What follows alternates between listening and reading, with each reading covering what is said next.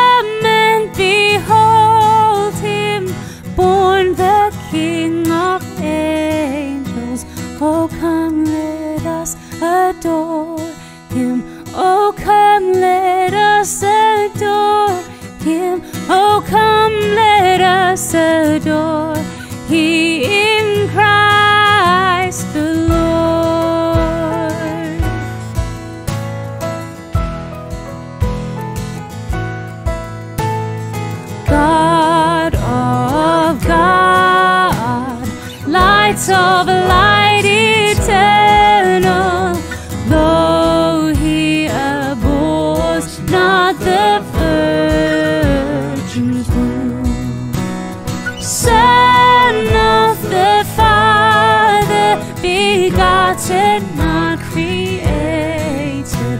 Oh, come, let us adore him. Oh, come, let us adore him. Oh, come, let us adore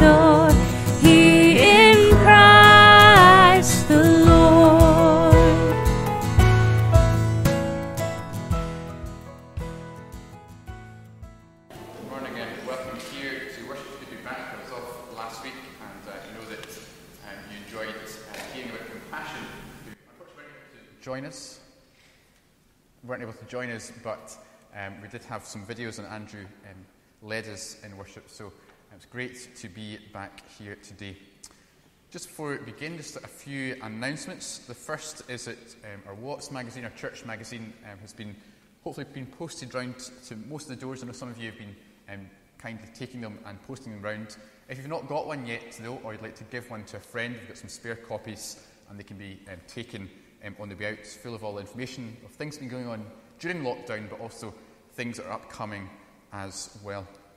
One of those that is um, upcoming is our, or has already started, is our Monday evening um, focus or Bible study on the themes of Advent, love, hope, joy, and peace. Um, and that takes place every Monday evening, 7 o'clock on Zoom. The details are in the church magazine, or you can contact me for more info. If You've got access to the internet, access to Zoom. You're very welcome to join us. You don't have to know everything about the Bible. You can just feel free to sit there and listen to others um, discussing and listening um, along. You're very welcome to that. And one more thing um, is that, as many of us know, um, Brian, unfortunately, our organist, is um, leaving us at the end of this year, but we would like to give him a gift um, as uh, thanks for the many years of service to our church here.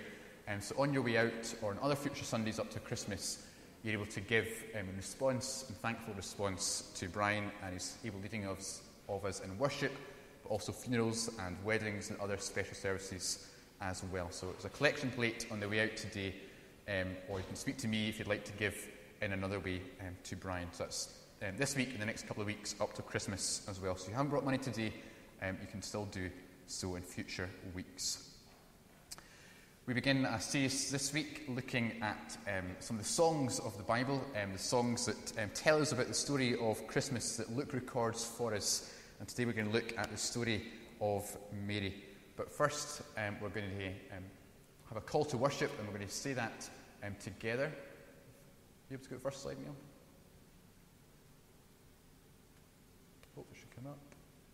There we go. It's the song As We Are Gathered, but we're just going to say it together.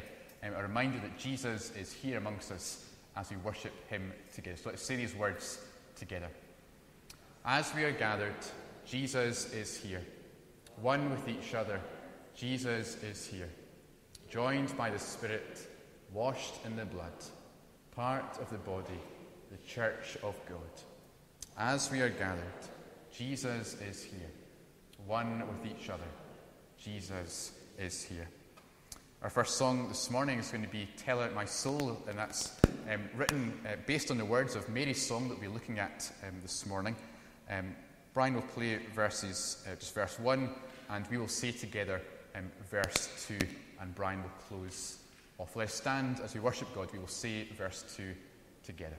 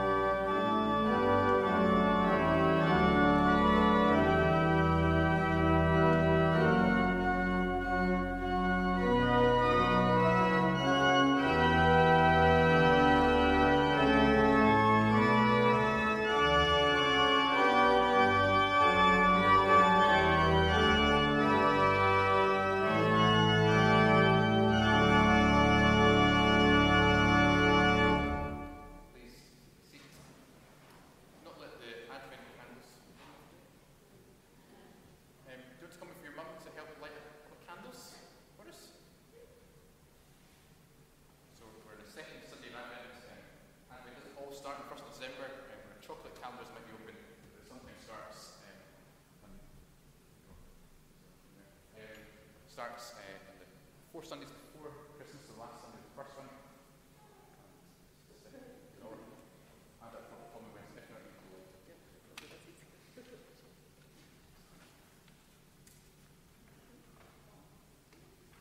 No.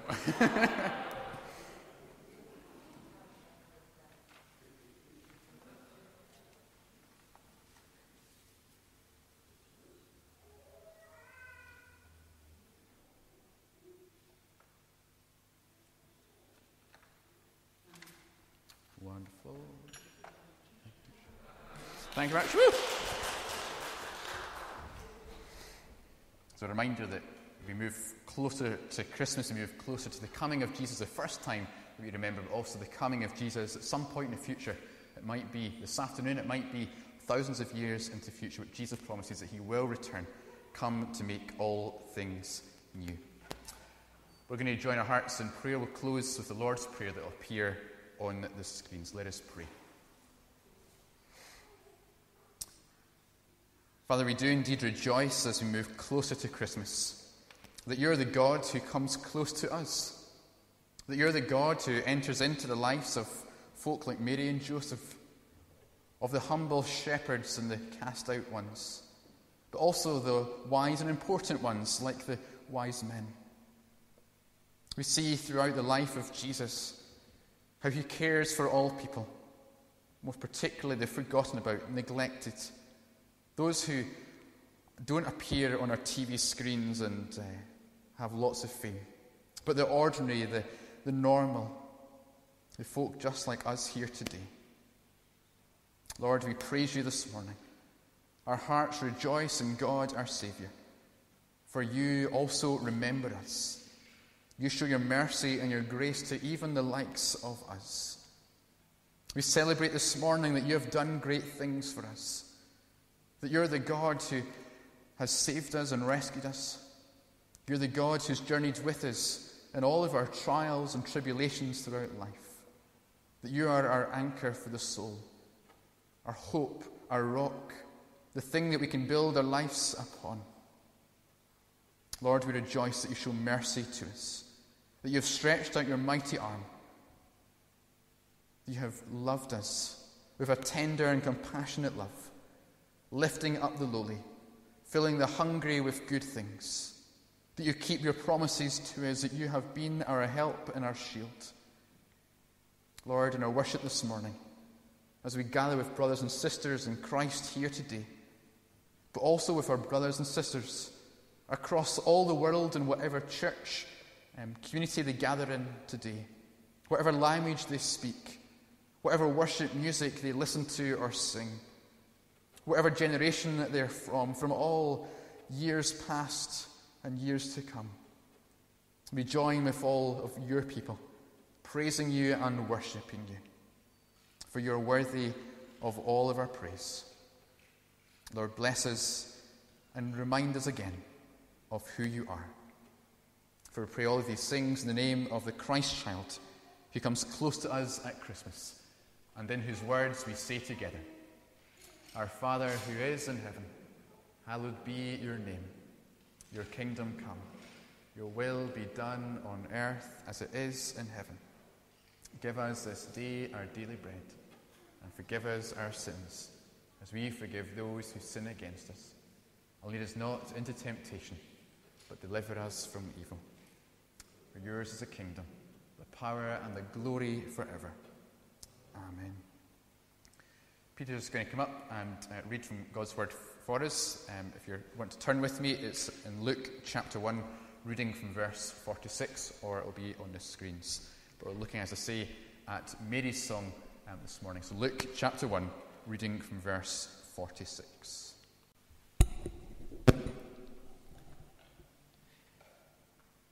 And Mary said, My soul glorifies the Lord, and my spirit rejoices in God my Saviour. For he has been mindful of the humble state of his servant. From now on, all generations will call me blessed. For the mighty one has done great things for me. Holy is his name. His mercy extends to those who fear him from generation to generation. He has performed mighty deeds with his arm. He has scattered those who are proud in their inmost thoughts. He has brought down rulers from their thrones. But he has lifted up the humble. He has filled the hungry with good things. But he has sent the rich away empty. He has helped his servant Israel, remembering to be merciful to Abraham and his descendants forever, even as he said to our fathers. Mary stayed with Elizabeth for about three months and then returned home.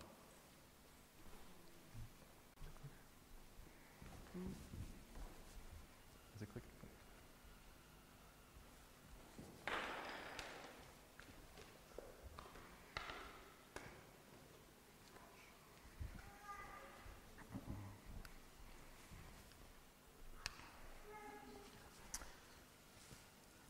One of the first signs of Christmas is surely the change of music in the shops and on the radio. No one announces when it's going to happen. No one says, today on this date, you can finally have your Christmas music. Perhaps this year it might start a wee bit earlier as we, uh, the shops want us to feel um, Christmassy and want us to buy more, obviously with the lack of um, shopping being done earlier in the year. But all of a sudden, one moment we're listening to normal everyday songs, then suddenly we hear Noddy Holder shouting out, It's Christmas! And in the run up to Christmas this year, we're looking at the original Christmas songs, not Noddy Holders, not Bing Crosby, but the ones that Luke records for us around the birth of Jesus from Mary, Zechariah, Simeon, and the angels on the hillsides. Luke records them because they reveal great truths to us about the good news of Christmas. That's why our series this Christmas is called Great Joy, because all of these songs tell us about why God and Jesus brings us great joy. All these four groups of people thought that this baby born at Christmas was bringing great joy. So we begin with Mary and the Magnificat, as it is uh, often called. Is it working? No, it's not. The next slide. It's often called the Magnificat, and that's just the, the first word in the, the Latin translation, just meaning to magnify. Um, and that's what Mary says My soul magnifies or makes much of um, the Lord. We don't have time to focus on the background to this song, but in short, I'm sure most of you know it anyway, but um, I encourage you to go home this afternoon and read the whole of Luke chapter 1. Just a few minutes it will take you to read the whole of this story. But in short, a young lady um, called Mary is told by a heavenly angel from God that she will bear a son who's going to be the promised Messiah for God's people. In other words, he'll be the Saviour of humanity, the King of kings and the Lord of lords. She finds out this child is not going to be any ordinary child, but the child within her, or it's about to become or grow within her, is extraordinary. For instance, it's not conceived by natural means, by, by extraordinary, supernatural means. We see the interweaving of the ordinary, a young lady, and the extraordinary, the human and the divine, the natural and the supernatural. She goes and hangs out with her cousin Elizabeth, who's much older than her and is also bearing a child. And uh, Elizabeth says, This child within you, I know, is something special. And Mary bursts into song and says, My soul glorifies the Lord. My spirit rejoices in God my Saviour. Or, if you like, she sings, Tell out my soul the greatness of the Lord. We see a heart that's thankful because God has been good to her. There's lots that we could look at in this song, but I just want to focus on three words this morning mindful, mighty, and merciful. That God is mindful, that God is mighty, and that God is merciful. If you had your Bible with you, or if you remember the reading, these three words come straight from the text. I've not imposed them upon it. It's the words that Mary says herself that God has been mindful to her, that He is mighty, and that He is merciful. So, first, God is mindful. Initially, she speaks in personal terms in verse 48 For he has been mindful of the humble state of his servant. From now, all generations will call me blessed. In other words, she's saying, God could have found anyone in the whole world far better than me. A rich, noble, powerful queen from faraway lands who lives in a palace. But he hasn't chosen to do so. Instead, he came to me, a lowly maiden, a teenage girl from the back and beyond. Because Mary is not that important. If Mary hadn't been the mother of Jesus, no one would know she ever existed. Now, of course, she's important to her family and her friends as our family and friends are important to us. But like probably most of us, no one outside of our social circle will miss us or know much about us beyond that small social circle. But Mary says, God has been mindful of me. In other words, He's taken thought of me, He's cared for me, He's kept remembrance of me. In the same way, we keep remembrance for Remembrance Day and the conflicts and those who've lost their lives. Mary says, My soul magnifies the Lord, for He's taken care of me, He's taken thought of me. I am in His remembrance. But also, she says in verses 54 to 55, He's remembered, He's helped His servant Israel, remembering to be merciful to Abraham and his descendants forever and ever. In other words, God's not just mindful of you and me, but mindful of all of his people. If you remember the story of Abraham back in Genesis 12, we see Abraham is called out of darkness into God's kingdom. And God says to him, Abraham, you're an old man, but I'm going to give you descendants. And out of your descendants, a great blessing will come upon the whole world. And from that, a future king will come who will take away all the darkness in the world, all the turmoil, all the stress and anxiety, all the COVID and all the struggles and politics and so on. All of that will be gone through you. You will bring a blessing. And so, all the way through the Old Testament, we see the unveiling of this promise. We see Abraham having his child, and then so on and so on. And the prophets come along and they say, God is still mindful of you. And people listen to the prophets. And hear Isaiah say, For unto you a child is going to be born, a son is given. The government will be upon his shoulders, and his name will be Wonderful Counselor, Mighty God, Everlasting Father, and Prince of Peace. His influence and reign there will be no end.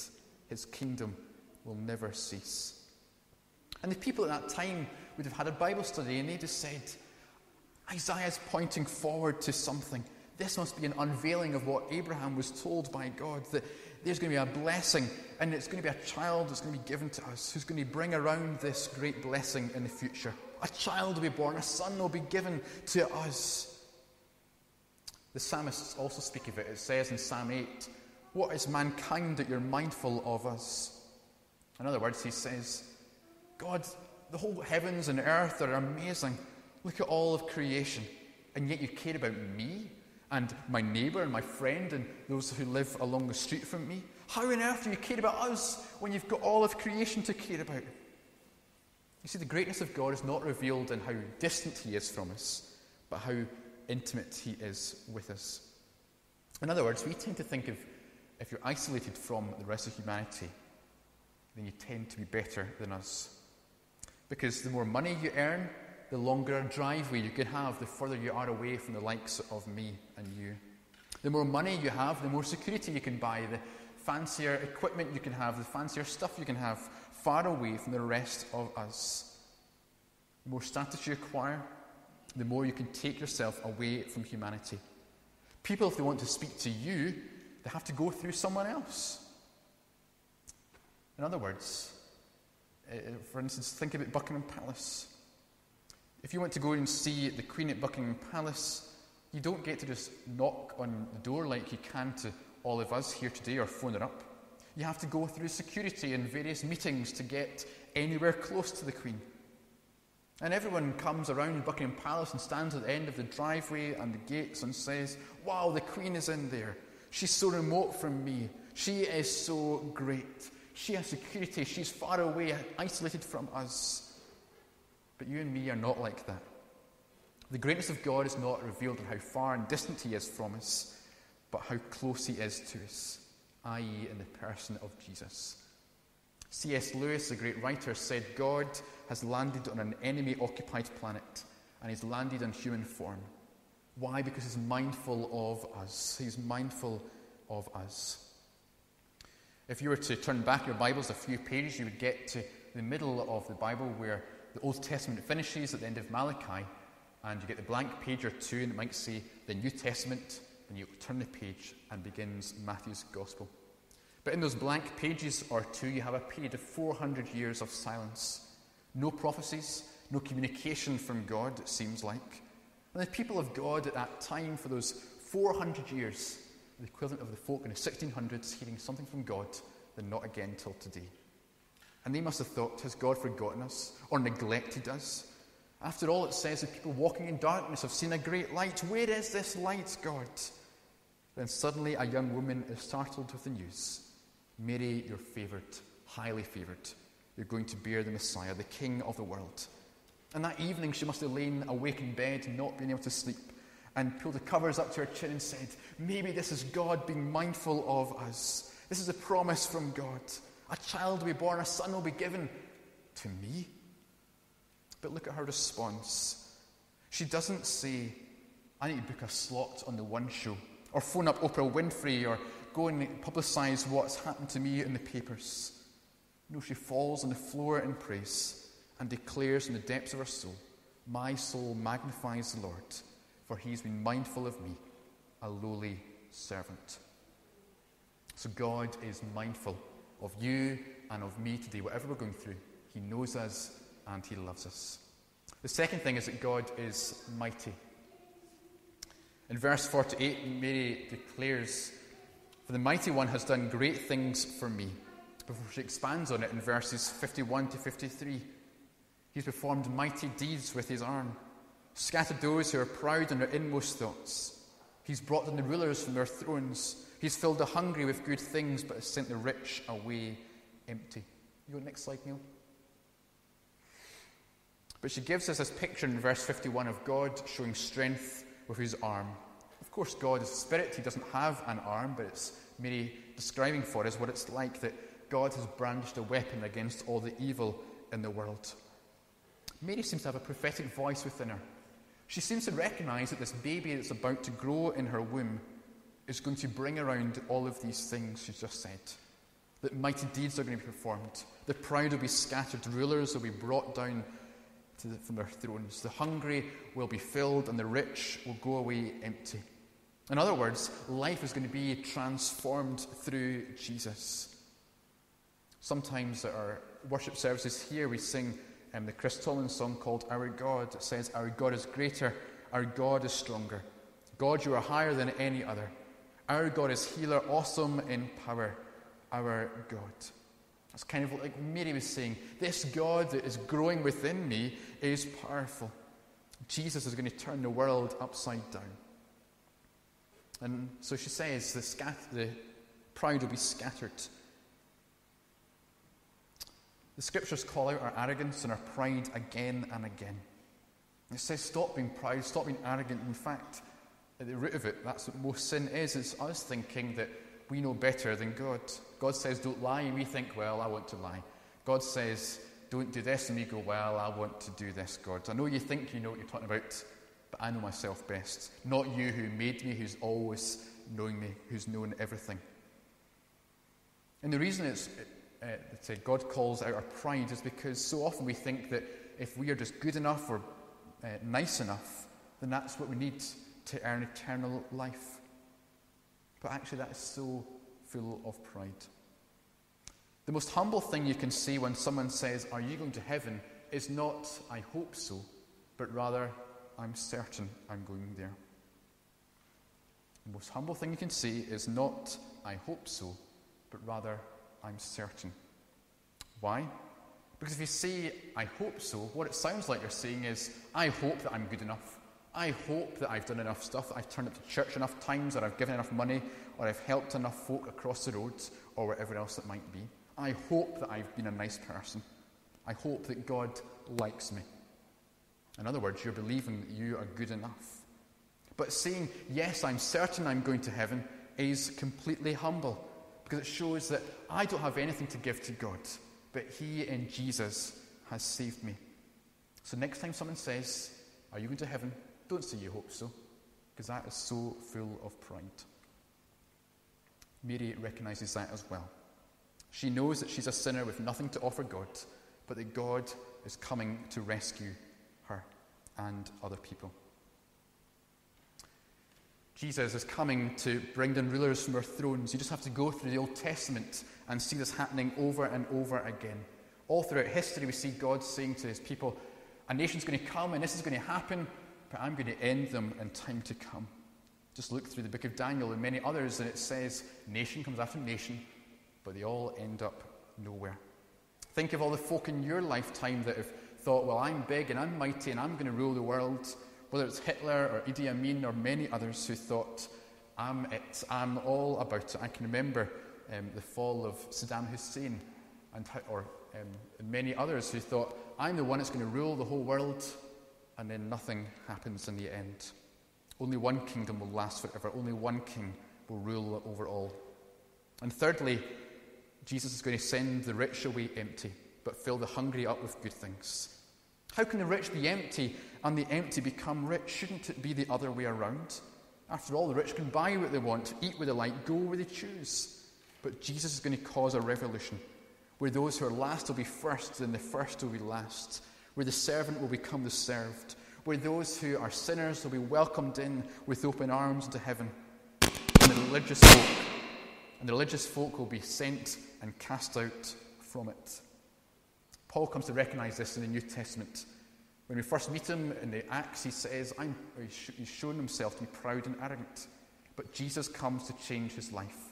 And he says in one of his letters, You know, the things I really prize in my life, all the things that made me who I am, all of my um, qualifications, all of my standing in society, I regard them all, and he uses a swear word here, but he basically says, I regard them all as dung. Because knowing Jesus is so much more than all of that. In other words, I've experienced a revolution. I once could have said, I'm so powerful, intellectual, so qualified, so significant. And now all of those things mean nothing to me because Jesus is so much more. Jesus has come to show that he is mighty. He is mighty indeed. Next slide. And lastly, God is merciful.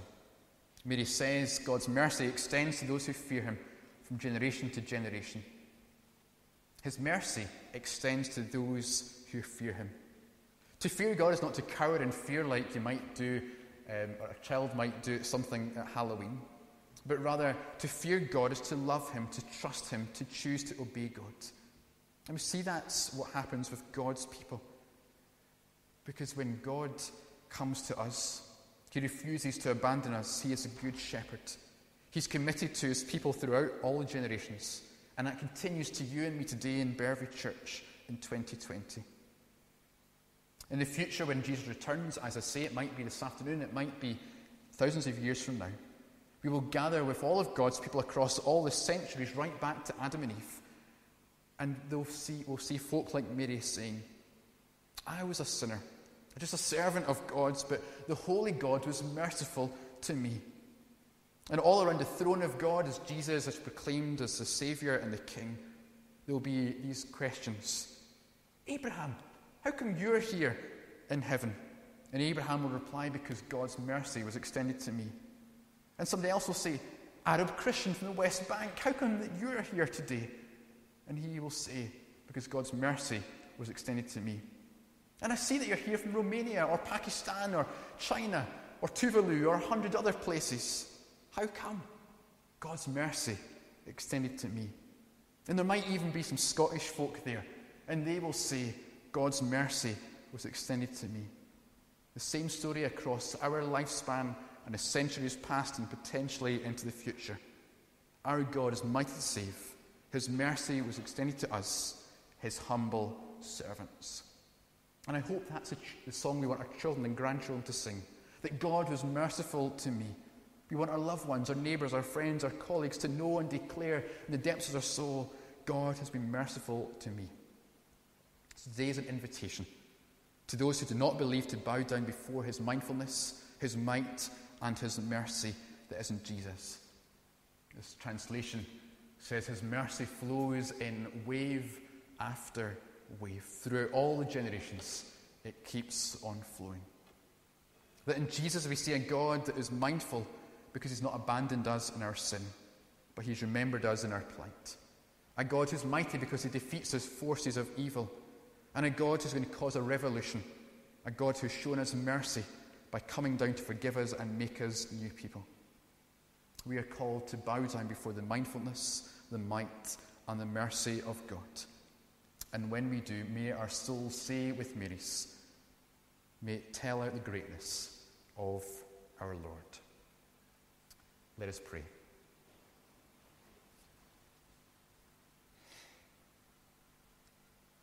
Father, indeed, this morning we declare with Mary, we declare in our souls that you are a great and wonderful God who has been mindful of us, who is mighty for us, and is merciful towards us. Lord, help us this morning to remember this, to re- recall this in the coming days. Whatever we go through, whatever struggles we find ourselves in, that you are mindful of us, that you know us, that you love us, that you are here with us. Lord, remind us that, that you are mighty, that all the struggles in our life will one day seem as nothing because you have defeated sin. And in the future, we will find ourselves around your throne, for you will have defeated the powers of darkness and evil. And why will we find ourselves on the throne, around that throne? Because you have shown your mercy towards us, not neglecting us, not abandoning us, but being kind to us in Jesus. So, Lord, remind us today of your mindfulness, your might, and your mercy towards us. We ask these things in Jesus' name. Amen.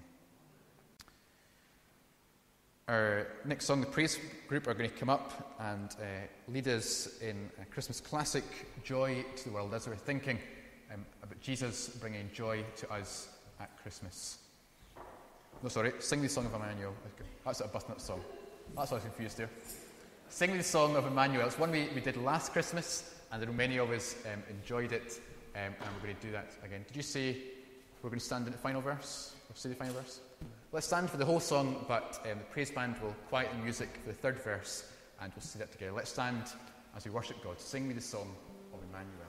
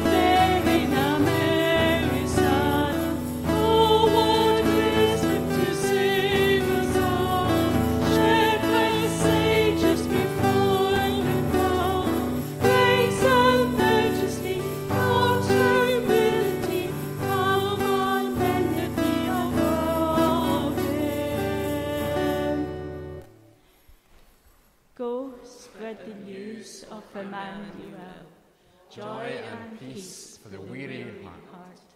Lift up your heads, for your King has come. Sing, for the light overwhelms the dark. Glory shining for all to see. Hope alive, let the gospel ring. God has made a way. He will have the praise. Tell the world his name is Jesus. Tell the world his name is Jesus. Please take a seat. You join me in prayer again as we pray for our community and our world? Let us pray.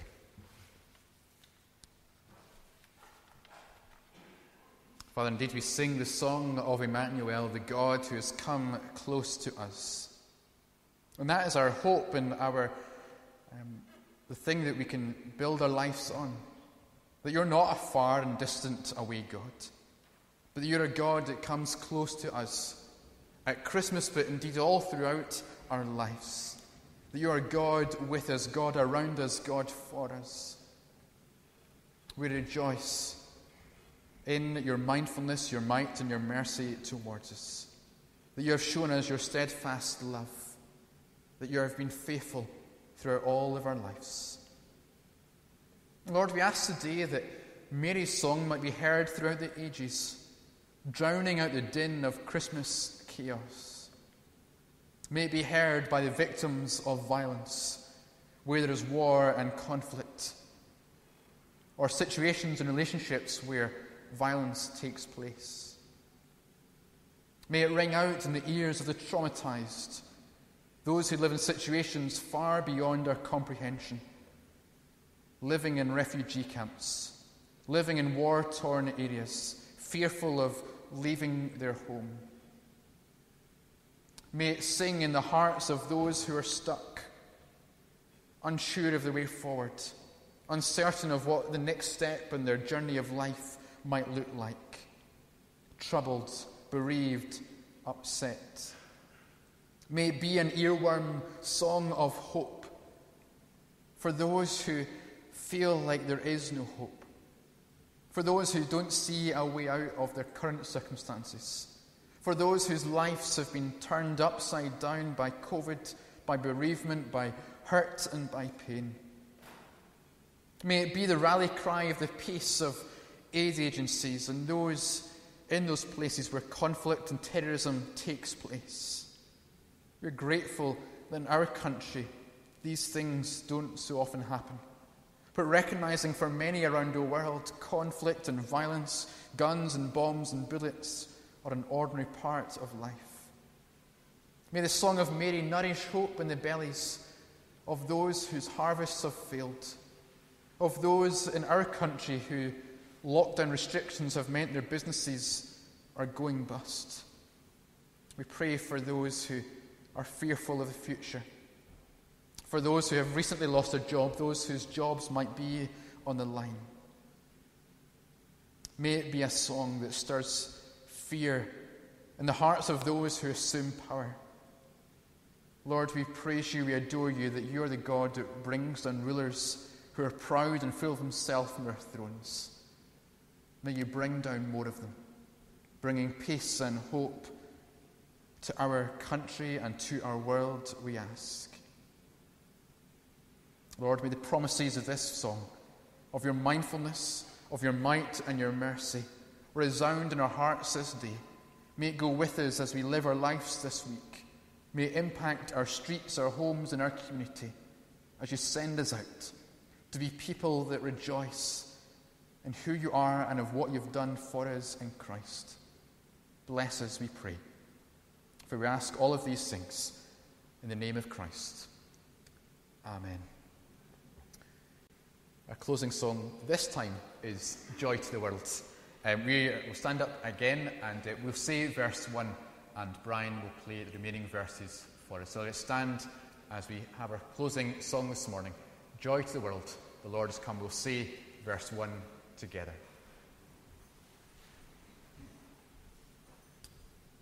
Joy to the world, the Lord is come. Let earth receive her King. Let every heart prepare him room, and heaven and nature sing, and heaven and nature sing, and heaven and heaven and nature sing.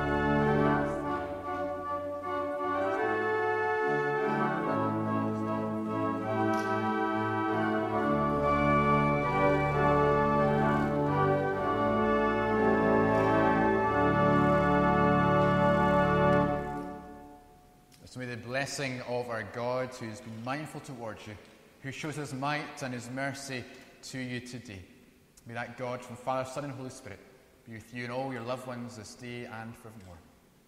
Amen. Please take a seat. And a reminder um, on your way out, you can collect a, a WOTS magazine if you've not got one, or take one to a friend.